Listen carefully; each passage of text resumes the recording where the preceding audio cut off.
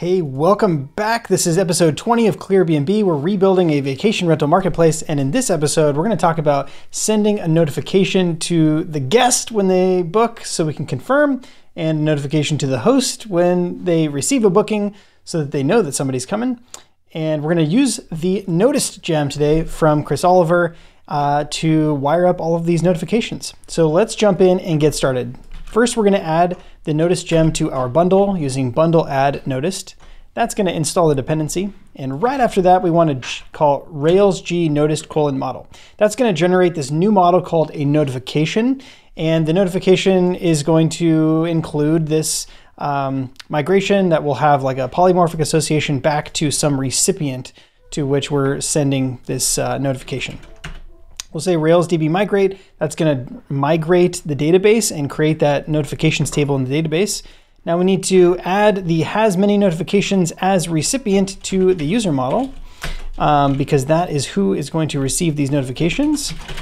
And then we also need to generate notifications. So we're going to say Rails G noticed notification, and we need some kind of notification.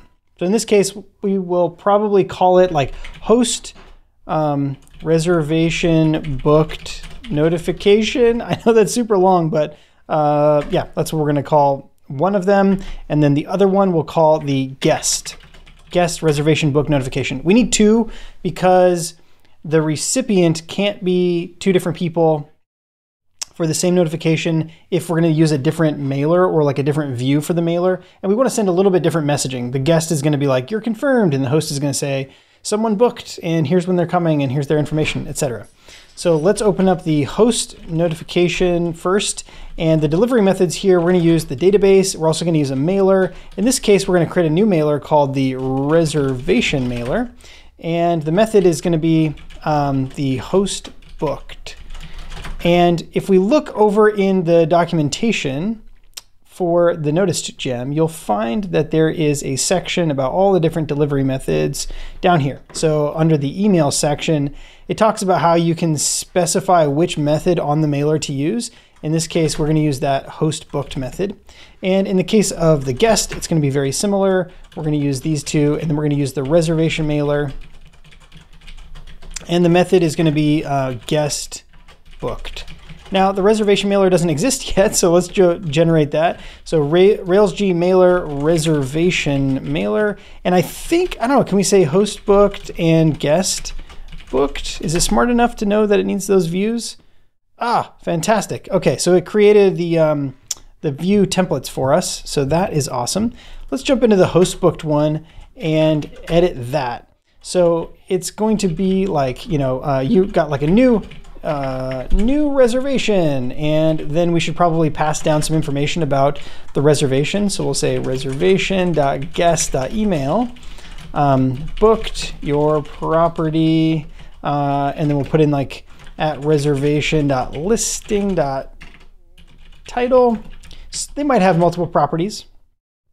And then we're going to say like, I don't know, like um, when they're coming, probably.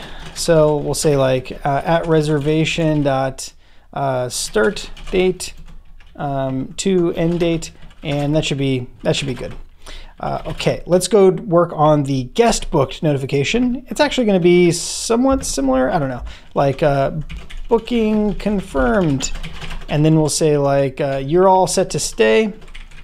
You're all set to stay at um, the reservation.listing.title. Um, and then again, uh, we'll just like copy the reservation start and end dates. And that's probably a good start. So if we go over to the um, guest, uh, guest reservation book notification. so this is when we send this, we're going to call guest reservation book notification with, and then we're going to pass in a reservation. So we want to require that the reservation param is there. We also want to do the same thing for the uh, host reservation, uh, booked notification, reservation. And what that does is makes sure that when we're in our reservation mailer, in here we have the at reservation available in params. So we're going to copy that for the host booked and the guest booked. And what we're going to do is we're going to mail to, in the case of the host booking, yeah, reservation.host.email. Thank you, GitHub Copilot. And then also when we mail to, we're going to say at reservation guest email, you are maybe like your reservation is confirmed. Um, uh, okay. So that's like a really good start. Let's uh let's see if we can mess around with this for a second. Um, okay, we'll come back over here and try host reservation notification. And actually, like let's update this to say uh, reservation, just so we keep the documentation in sync um, with what we're actually doing here. Uh, and then yeah, let's copy let's copy that uh, so that we can actually send it. So from the Rails console, uh, let's reload it. So we have our new noticed gem and the reservation that we're going to send is, we'll just say like reservation.last, reservation.last. And because it's the host, whoops, reservation.last um, dot deliver is going to be user first. I think the user, the first user was the host. Boom, look at that.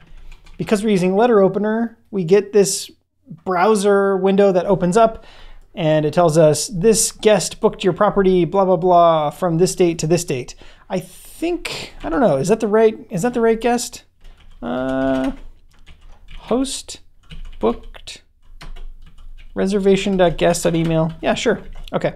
Uh, and then let's do the same thing, but for the guest. All right, you're all set to stay at blah, blah, blah from that date to that date. Awesome. Okay, this is fantastic. So now we're using the noticed gem. We can also see like notification.all, and now we have like a host reservation book notification and a guest reservation book notification. This makes it really nice because then we can go build like these really beautiful, like sort of news feed style things about what's happening on that specific reservation. Um, and yeah, so this is using the, the noticed gem to send notifications when we receive bookings. Um, oh, right, now we need to wire it up to the webhook handler. So over here, I'm already using the Stripe CLI to listen for webhook events. That's a direct connection between Stripe and my local machine. When events fire on my Stripe account, they're delivered here. And so if I open up the webhook handler, um, or the webhook controller, we can sort of follow this down. So we are performing the jobs in the background using this event job situation. And if the source of the webhook is from Stripe, then we call handle Stripe, and we pass that down into um, this handle Stripe function where we sort of switch on all the different types. Now, if the checkout session is completed, this is where the reservation is actually booked. So we want to say something like guest reservation booked notific actually yeah let me just copy from over here the one that we already used so yeah that's good and that'll give us something to work with uh, okay so the reservation we're passing is reservation that's the one that we found based on the checkout session id that was on the um, on the reservation object when we create the reservation object and redirect to checkout we store that checkout session ID so that we can look it up later. And then when we're delivering, we actually want to deliver later, and we're going to deliver to reservation dot, um, I think it's reservation dot host, right? And then we want to change this one to guest. And in this case, we're going to deliver it to the guest. And all right, so what do we want to do? We want to go through the entire checkout flow. So let's go to the listings and pick a property. We're going to say reserve. And we'll pick some dates here, maybe the 21st to the 23rd. And we'll say reserve. All right, we're redirected to Stripe checkout. Let's enter some card details, uh, 424242, and then, um, I don't know, some date in the future, any random CVC, guest, and okay, let's book for $6.25. $2.33 a night. I don't Faker and random numbers decided on really low prices for these for these reservations. Look at that. Okay, two brand new emails were sent right after we checked out, and so this is our like booking confirmation. Um, so we received uh, something here that says uh, booking confirmed. We also received something here that says there is a new reservation. Perfect. At this point, we're able to notify the guest and the host when new reservations happen by email. In the next video, we'll talk about how to send messages between guests and hosts as they can like talk about the reservation. They can say, what's the Wi-Fi password? And is there going to be a you know a, a, pack and play when we arrive? and do you allow dogs? and do you have a hot tub? and things like that. So you can go back and forth. And uh, yeah we'll do that. Also i think we might also use the noticed gem for that and maybe we'll talk about receiving email in a future episode. Thanks so much for watching. Really appreciate your time and attention. If you're enjoying this episode please give me a subscribe a thumbs up ring the notification bell all those good things. And uh, yeah we'll talk to you later. See you in the next episode